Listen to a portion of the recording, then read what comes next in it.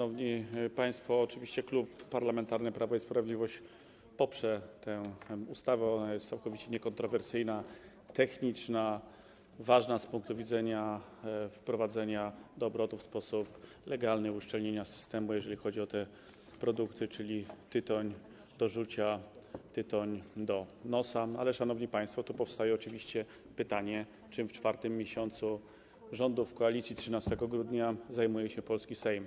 Takich technicznych ustaw może być nawet 100 i powinny być przyjmowane hurtowo, ale brakuje poważnych projektów.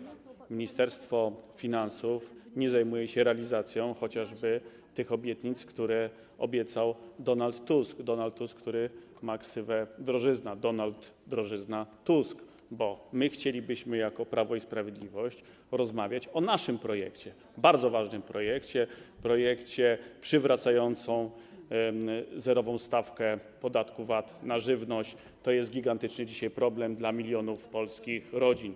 Brakuje tego e, projektu wśród projektów rządowych. My taki projekt zgłosiliśmy do laski marszałkowskiej. Tu oczywiście apel szczególnie i też do pani marszałek, i do prezydium, i do pana marszałka, aby ten projekt jak najszybciej rozpatrzyć. Takimi projektami powinno zajmować się Ministerstwo Finansów, gdzie jest chociażby jakaś propozycja podatkowa dotycząca cen energii, czy chociażby cen paliw. Nie ma paliwa, Panie nie ma pośle, benzyny zwracam po panu 5,19. Tu w tej sprawie również rząd przespał pośle. sprawę. Tak?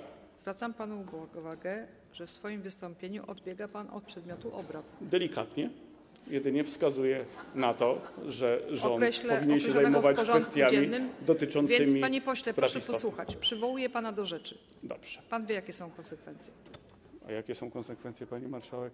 Ja rozumiem, że. Zachęcam, zachęcam do zapoznania się z regulaminem Ja Sejmu. rozumiem, szanowna pani marszałek, że słuchanie o niedotrzymanych obietnicach Donalda Tuska i pozwalanie posłom opozycji, przypominanie o tym, jak Donald Tusk oszukuje, okłamuje Polaków, może się wiązać z konsekwencjami partyjnymi dla pani, więc kończę.